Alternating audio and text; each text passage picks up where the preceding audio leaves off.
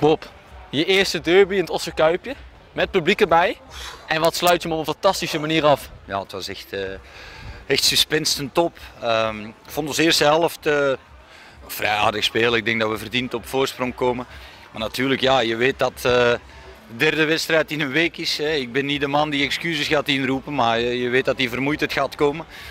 Um, en dan, ja, de tweede helft gaan ze met heel veel lange ballen op stier spelen, waardoor wij het uh, niet meer klein kunnen houden. Uh, ja, ik denk in de 67e minuut, Jurl 1 op 1 met de keeper. Als hij hem daar uh, intikt, is het 2-0 en is de wedstrijd voorbij. Maar mijn jongens houden ervan om het spannend te maken. Uh, krijgen we 1-1 binnen en dan maakt Leon Kaak hem op een fantastische manier. Maar ja, je wint 1 de derby en ja, een Engelse week 9 op 9 en je gaat over de bos in de stand. Dus ja, ik kan alleen maar heel fier en gelukkig zijn. Een perfecte week voor jullie. En ja, dan, ja, dan kom je eigenlijk op voorsprong. Dan krijg je 1-1 net tegen wat je zegt. En Leon Kaak staat naast je, maar hij schiet er fantastisch binnen. Oh.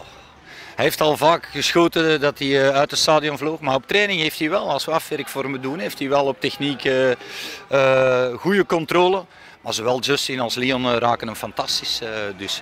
Maar ja, ik weet eigenlijk niet, niet, niet, niet wat ik moet zeggen.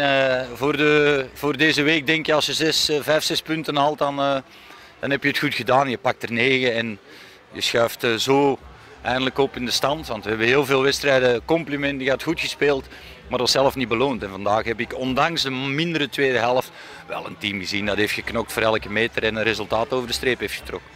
Leon, wedstrijd 150 voor jou vandaag in rood-wit. En je sluit hem prachtig af. Wat een goal. Oh ja, dat wist ik niet, maar ja, dat is, dat is inderdaad een, uh, ik denk een mooie timing om deze, om deze goal te maken tegen Den Bosch met publiek. Ja, dat, dat voelt heerlijk. En dan daarna het feestje met de supporters. Wat een fantastische afsluiter. Ja, ja, ik denk dat heel officieel mag het misschien niet. Ja, dat klopt. Maar dit zijn, ja, dit zijn hogere machten, denk ik. Dat komt iets los in de sport. Ja, dan is iedereen los en dan, uh, ja, dan, dan vieren we het met z'n allen. En dat is misschien niet helemaal netjes, dat klopt. Maar het is, ja, dat, zijn, dat, dat hoort bij de sport, denk ik. En, want ze zijn er weer en dan wil je met z'n vieren en dan wil je losgaan. Dus dat is prachtig. Het zijn prachtige momenten inderdaad, want ja, weet je, voetbal is een sport, komt emotie bij kijken. En dan, als je zo kan afsluiten, helemaal in zo'n belangrijke wedstrijd, de derby, ja, dat is super. Ja, ja, absoluut. Zij hebben lang gewacht. Wij hebben hierna gesnakt. Weer publiek. Dus ja, al met al geen goede wedstrijd. Echt niet. We lagen veel meer mogelijkheden om goals te maken. Eerste helft zeker. Tweede helft beginnen we slecht. Maar ja, we moeten gewoon beter uitspelen. En uh, veel minder slordig zijn. Dus netter aan de bal. Maar goed, dat maakt allemaal niet meer uit. We hebben hem gewonnen. En uh, we zetten de reeks door. Dus dat is lekker. Een perfecte week voor jullie. 3 uit, uh, 9 uit 3. Ja, ja dus uh, volhouden. Volgens mij komt nu Emma, hè? Uit. Uh, ja, dat is een lastige. Maar als je daar ook minimaal een punt pakt, dan hou je denk ik kans om, uh, om toch te gaan stunten in de periode. Weet je, dat mag je eigenlijk niet zeggen als toppos zijn misschien. Maar wij moeten dat durven uitspreken. Want het kan in deze competitie in, in de juiste fase, in de juiste flow. Dus dan, daar moeten we voor gaan. En we moeten denk ik wel vooral naar de, naar, naar de plek 10, plek 9. Dat is denk ik een doelstelling waar we naartoe moeten werken. En ja, dat, dat geeft misschien ook nog kans op play-offs aan het eind, omdat jongploegen misschien hoog staan. Rick, wat hebben wij hier meegemaakt vanavond? Ja, het was een echte derby denk ik. Uh, vaak is dat uh, met veel strijd, weinig uh, goed voetbal. En ja, dat was vandaag ook weer denk ik. Ik denk dat we de laatste, laatste periode heel goed voetbal hebben gespeeld. Alleen vandaag, vandaag niet. Alleen je wint hem wel weer en daar gaat het uiteindelijk wel om. En dat is ook wat we tegen elkaar zeiden voor de wedstrijd tijdens de rust en ook in het veld. Van jongens, deze moeten gewoon over de streep trekken. En maakt niet uit hoe, als we maar winnen. En dan, dan zie je wat voor feestje je na de wedstrijd hebt. Even naar het feestje toe. Was het fantastisch om weer met de supporters dat te vieren? Ja, dit is het mooiste. Kijk, dat het zo precies uitkomt dat we dan gelijk tegen Den Bosch spelen. Ja, dat is, voor ons is dat mooi, voor de supporters is dat mooi. En als je hem dan ja, zo'n cadeautje kan geven met een overwinning richting de sport is geweldig. De eerste helft kwam in de voorsprong. Ik denk wel verdiend eigenlijk, hè? Na, op het eerste kwartier na.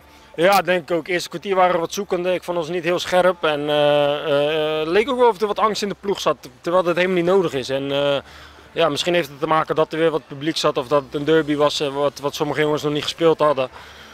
Ik weet het niet, maar dat is wel wat we daarna wat beter opgepakt hadden. En ik denk dat we daarna tot heel veel goede kansen komen. En dat we de wedstrijd al eerder in slot moeten gooien. Doen we niet, waardoor we hun laten leven. En dan krijg je eigenlijk een, ja, een goal, ja, denk dat je niks weggeeft en dan krijg je zo'n goal tegen extra zuur. Maar ja, Kaki maakt het op een uh, fantastische wijze goed. Kaki schiet fantastisch binnen. En hoe? Ja, dat, dat, vraag ik mezelf ook af. Hij, hij scoort niet zo heel vaak. Het is wel dat hij, eh, ja, dit doet hij wel vaker. Van die schoten van afstand en nu eh, vanuit de volley. Ja, geweldige goal. Dit is dan de kerst op de taart, zoals ze zeggen. Absoluut. En, ja, ik wist ook wel dat, dat de vermoeidheid ging komen. Hè. Je, hebt, eh, mag niet onderschatten, je komt van één wedstrijd in vier weken met de winterstop. Ga je naar, naar drie wedstrijden in één week. Maar oké, als dit eh, de, de uitslag altijd is, dan mogen we elke week drie wedstrijden spelen. Ehm, het spel wat je net zegt was misschien niet zoals het eh, normaal was, zoals tegen Jong AZ of tegen Helmond. Maar deze wedstrijd, ja, jullie trekken hem over de streep door kracht en power en strijd en passie. En ook volwassenheid. Op het einde ook, eh, hebben we nog Rosson gebracht, omdat ze met heel veel eh, lange ballen gingen spelen. Maar ja, kijk, op een gegeven moment hebben we heel veel complimenten gaan spelen goed, allemaal lekker. Maar iedereen kijkt naar de stand en je staat 19e. En nu spelen we 2,5 wedstrijd goed. Uh, bij momenten zelfs heel goed. En de, de, tweede helft was minder, maar je pakt 9 punten. Dus ja, af en toe wil je hem ook eens op die manier winnen. Er wordt heel vaak gezegd, jullie spelen goed voetbal. Um, maar het kwam er net niet uit iedere keer. En nu belonen jullie jezelf. Mede door de volwassenheid die jullie uitstralen. Ja, ik denk dat we gewoon best wel een ervaren ploeg hebben. En uh, je ziet de eerste helft kun je volgens mij nog uh, 90 minuten spelen zoals we de eerste helft erin zaten. Ja, die geven we niks weg. En, uh, en dat doe je het gewoon verdedigend heel goed aan de bal, wat ik zei, slordig. Maar we geven niks weg. En ik had ook niet het gevoel dat zij gingen scoren. En dan uit het niets valt hij dus en wordt het nog even, even echt billen knijpen. En valt hij uiteindelijk gelukkig nog goed. Jullie tonen veerkracht naar de 1-1 en dan komt die bal voor je voeten. Ja, beschrijf het eens even. Ja, geen idee. Dat, die, komt, uh, die komt iets... Uh... Wat gebeurde er? Ja, hij viel, hij viel uh, eruit. En dan sta ik wel vaak op de 16 om, om die tweede bal op te pakken. Of in ieder geval geen counter tegen te krijgen. En als die goed valt, dan kan ik op dat hok schieten. En nu en nu viel hij goed en, uh, en, raakte ik hem goed op techniek en kon de keeper niet meer bij. En toen kwam er ook wat los in jullie qua emotie. Ja, natuurlijk. Ja, 87, 88 minuten waar zaten we. Misschien 86, ik heb geen idee meer. Maar dan, gaat, dan komt er een adrenaline vrij en dan kun je nog heel veel... Uh, dan zijn de benen ineens niet meer moe en dan... Ja, dat, dat kan ik niet uitleggen. Dat, dat is prachtig. Dan wordt het nog even spannend in de laatste minuten. Den Bos gaat natuurlijk aandringen, maar jullie weten hem over de streep te trekken. En feestje daarna. Ja, precies. Dat is het belangrijkste. Er was inderdaad af en toe nog wat gekke momenten. Maar we moeten dan druk op de bal, wat we af en toe niet deden. En dan krijg je van die bal in de vijf meter. En dan pakt Norbert nog een goede bal. Een kopbal van uh, volgens mij die uh, rechter centrale. Dus uh, nou, we hebben hem in ieder geval en we gaan hopelijk deze flow doorzetten. Het was ook na de 1-1 dat jullie niet opgaven en strijd bleven leveren. En uiteindelijk heeft dat geresulteerd in een prachtige overwinning. Ja, kijk, we merkten dat we voetballend gewoon uh, matig waren. We hadden veel te veel balverlies, weet je wel. Heel, heel simpele ballen die misgingen. En uh, ja, dan moet je het even over een andere boeg gooien. En dan moet je er gewoon volle bak voor gaan, blijven lopen, blijven strijden. En dan uh, komt dat momentje vanzelf. Nou ja, ik denk dat het zelfs drie momenten nog waren. Waarbij we hem nog meer goals kunnen maken. Maar oké, okay, zo was het goed. De supporters vieren feest. Ik denk dat jij ook wel een klein feestje gaat vieren vanavond. Ja, ik ga wel een klein, klein feestje vieren. Ja. Is ook wel, uh, mag ook wel. Uh, kijk, uh, als, we, als we mindere periode hebben, dan, dan zitten we ook met z'n allen te balen.